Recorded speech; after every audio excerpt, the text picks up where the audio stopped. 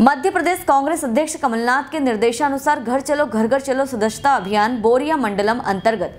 Barbaspur sector के ग्राम भुरकुंडी में भ्रमण कर लोगों से जनसंपर्क किया जाएगा। जिसमें ब्लॉक सदस्यता अभियान प्रभारी महामंत्री विकास आदित्य नारायण बघेल, ब्लॉक अध्यक्ष प्रदीप जैन, महामंत्री मुकेश जैन सहित बोरिया क्षेत्र और ब्लॉक कांग्रेस के कार्यकर्ता और ग्रामवासी उपस्थित रहेंगे। इस कार्यक्रम में समस्त ब्लॉक कांग्रेस के कार्यकर्ताओं की उपस्थिति प्रार्थनीय है। छपारा से आरिफ मोहम्मद की रिपोर्ट।